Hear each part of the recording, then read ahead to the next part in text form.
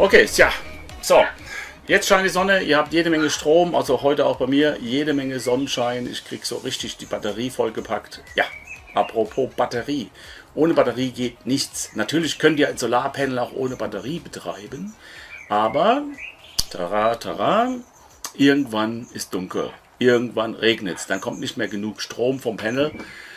Ja, und dann läuft nichts mehr. Ihr braucht eine Batterie als Puffer und als Energiespeicher. Dafür gibt es spezielle Solarbatterien. Die sind ähm, für dieses Laden und Entladen in einer Solaranlage optimiert. Da gibt es verschiedene Ausführungen, also Bleisäure, da gibt es Lithium und fragt mich nicht, also was für verschiedene Sorten es noch gibt. Schaut mal unten, ich habe euch einen Link reingepackt, da könnt ihr nochmal nachrecherchieren, was da alles da ist, was euch gefällt und was zu eurem ähm, Budget auch passt. Meine Frösche melden sich mal auch wieder zu Wort. Mal gucken, wie laut sie heute werden. ähm, ich hatte so ein sogenanntes Schlüsselerlebnis bei äh, meiner Solarbatterie, also weniger bei, dem, bei der Solarbatterie, sondern bei dem Anschluss. Ihr braucht dazu so Anschlussklemmen für die Batteriepole. Ähm, da gibt es unterschiedliche zu kaufen, also im Internet, ähm, zum Beispiel bei Amazon findet ihr da Dutzende Varianten.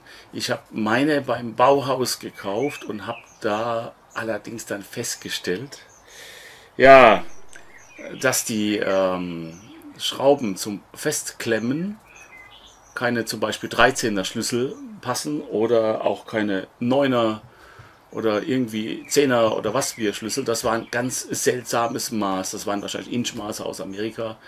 Ähm, ich musste mir dann dazu erstmal noch die passenden Schlüssel, also Schraubenschlüssel und äh, Steckknüsse dazu kaufen. Also passt auf, wenn ihr diese Anschlusspolklemmen äh, kauft, dass ihr die richtigen kauft mit den richtigen Muttern drauf, damit eure Standard, unsere standardmetrischen äh, äh, Gabelschlüssel und Steckschlüssel einfach passen. Sonst habt ihr ein Problem. Ihr seht es jetzt auch gleich im Video, wie ich da so ein bisschen dran rumwirken musste. Okay, als nächstes mache ich mir die Batterie klar. Das heißt, ähm, an die Batteriepole Plus und Minus äh, die Batterieklemmen anschließen. Aber vorher checke ich nochmal, ob die ähm, einzelnen Zellen auch genug Flüssigkeit enthalten. Es gibt ja ähm, Batterien mit äh, offenen Zellen, so wie hier, da könnt ihr dann destilliertes Wasser nachfüllen. Es gibt auch geschlossene Batterien, die sind dann wartungsfrei. Ich bevorzuge aber lieber eine offene Batterie, dann kann ich besser prüfen, in welchem Zustand sie noch ist und äh, gegebenenfalls noch ähm, destilliertes Wasser nachfüllen. Also das sieht alles super aus. Die Batterie ist neu, die ist nagelneu und ähm, aber ihr wisst ja auch nicht, ähm, wie lange die jetzt schon irgendwo stand und ähm, ob der Hersteller oder Verkäufer die da schon eine Weile im Lager hat rumstehen lassen. Also checkt es einfach mal, ist der Füllstand hoch genug. Wenn nicht genug Füllstand drin sein sollte, füllt es nach, aber denkt bitte dran, ihr dürft erst nachfüllen, nachdem die Batterie voll geladen ist. Wenn ihr die Batterie laden werdet, und habt vorher schon aufgefüllt, kann es passieren, dass beim Laden, wenn dann der Strom fließt, ähm, sich die, die äh, Schwefelsäure ausdehnt und ähm, dann die Batterie überläuft. Ist jetzt nicht so toll. Ne? So, letzter Check. Sieht alles sehr gut aus. Alles nickelnagel neu. Auf was ihr unbedingt achten müsst, ist, wenn ihr so eine Bleisäurebatterie benutzt, die nicht versiegelt ist. Die ist ja dann offen. Da können beim Laden können Wasserstoffgase entstehen. Diese Wasserstoffgase sind hochentzündlich. Ihr müsst diese Batterie in einem separaten Raum unterbringen. Ähm, und die Geräte, die ihr dann betreibt, also diesen Solarregler und den Wechselrichter etc. in einem anderen Raum. Ihr könnt natürlich die Batterie auch in den Kasten packen ähm, und mit dem entsprechenden Lüftungsschlauch diese Wasserstoffgase, die beim Laden entstehen oder beim Entladen dann entsprechend nach draußen führen. Ich habe hier Glück beim Gartenhaus, ich habe zwei Räume, ich habe so einen kleinen Wohnraum hier und habe einen Nebenraum, so also ein bisschen Abstellraum und ähm, eine Toilette und da wird jetzt die Batterie installiert, Löcher durch die Wand, Kabel auf die andere Seite und die Bedienungselemente und die ganzen Sachen, die werden dann jetzt hier von dem äh, Wohnraum dann in meinem Gartenhaus werden die bedient. Okay, alles ist fest, alles ist sauber. Und jetzt kommt das gute Stück in den Abstellraum.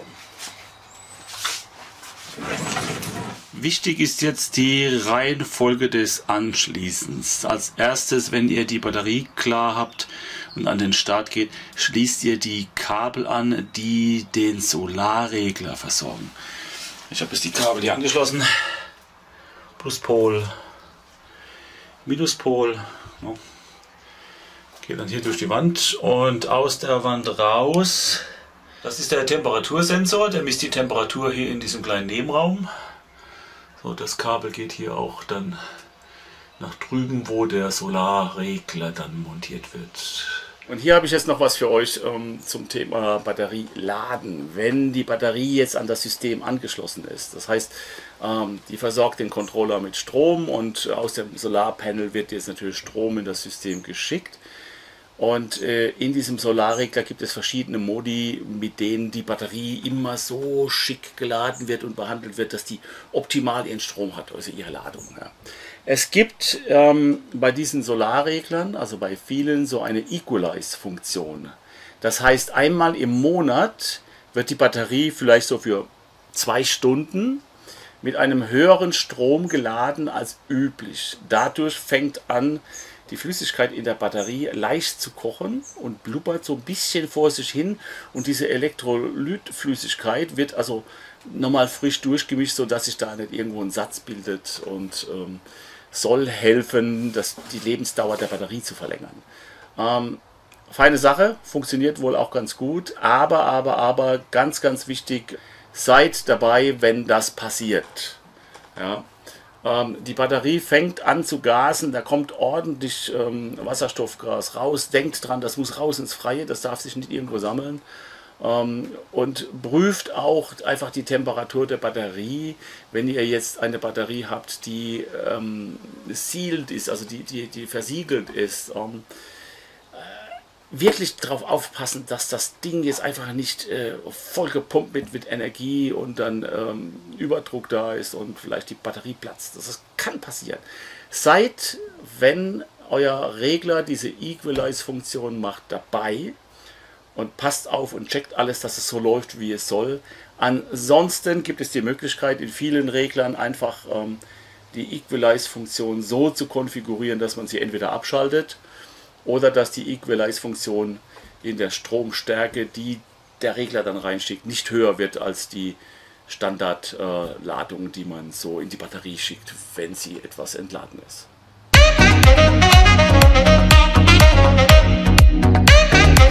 Als nächstes das Thema Kabel. Ihr braucht natürlich Leitungen, um die Energie, um den Strom, den ihr produziert, ähm, von eurem Solarpanel, von eurem Solarregler, äh, von der Batterie, wer weiß wohin, einfach zu transportieren. Klar, äh, wenn das alles drahtlos ginge, wäre das eine schöne Sache, aber in dem Fall brauchen wir wirklich noch richtig Kabel. Ähm, und da gibt es natürlich entsprechende passende Kabel für diese Solaranlagen. Ich habe hier mal ein Beispiel für euch. Das ist jetzt hier so ein, das ist jetzt so ein Solarkabel und das hat 6 Quadrat, 6 Quadratmillimeter und ich sag's euch mal hier, so sieht das ganze Ding aus. So. Und das ist schon ein ziemlich dickes Kabel innen drin, ist also nach einer schönen Ummantelung ein reines Kupferkabel und das leitet den Strom natürlich am besten. Es gibt auch Alukabel, also Aludraht, Alulitze, ähm, die hat allerdings einen höheren Widerstand. Also ich empfehle euch auf jeden Fall ähm, ja, äh, nehmt die Kupferkabel. Die sind etwas teurer und äh, die Verluste sind wesentlich geringer. Nehmt es nicht zu dünn. Ja? Äh, durch so ein Kabel laufen schon ordentliche Stromstärken hindurch. Wenn da so 20 Ampere durchlaufen, das ist schon ordentlich Energie, die da ähm, vorbeifließt. Und jetzt, ähm, wenn ihr das zu dünn macht, äh, habt ihr riesen Verluste und als nächstes durch diese Verluste und den Widerstand, der entsteht, werden die Kabel auch warm.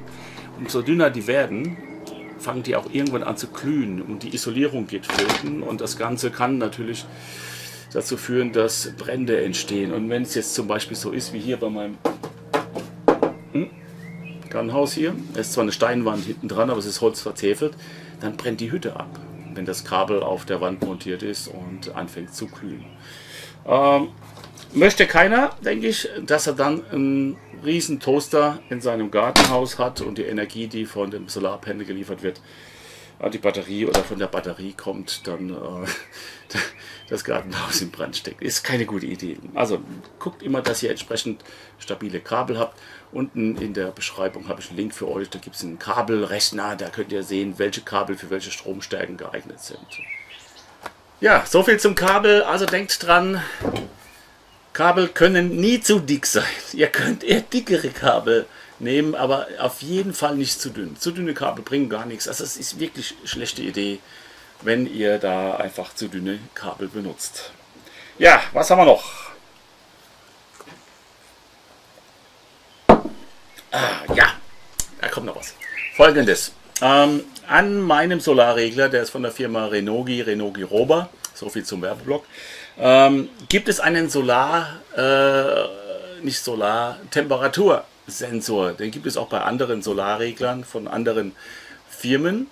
Das ist das kleine grüne Steckerchen, das man unten reinsteckt. Dieser Sensor, dieser Temperatursensor, äh, misst die Temperatur der Batterie. Und der Solarregler passt entsprechend zur Temperatur der Batterie die Energie an, die er in die Batterie schickt zum Laden. Das seht ihr nicht auf dem LCD-Panel, auf dem Laderegler von Renogi. Das wird intern verwurschtelt, also da habt ihr keine Information drüber. Möglicherweise kann man das über diese RS232 Schnittstelle, die da noch dran ist, äh, auslesen mit dem entsprechenden Gerät. Da gibt es ja auch noch was dafür. Aber ihr werdet das nicht sehen. Die Temperaturanzeige, die ihr auf dem Regler seht, ähm, die zeigt im Prinzip die Raumtemperatur, beziehungsweise wenn der Solarregler sich erwärmt, äh, zeigt dann die Temperatur des Solarreglers an.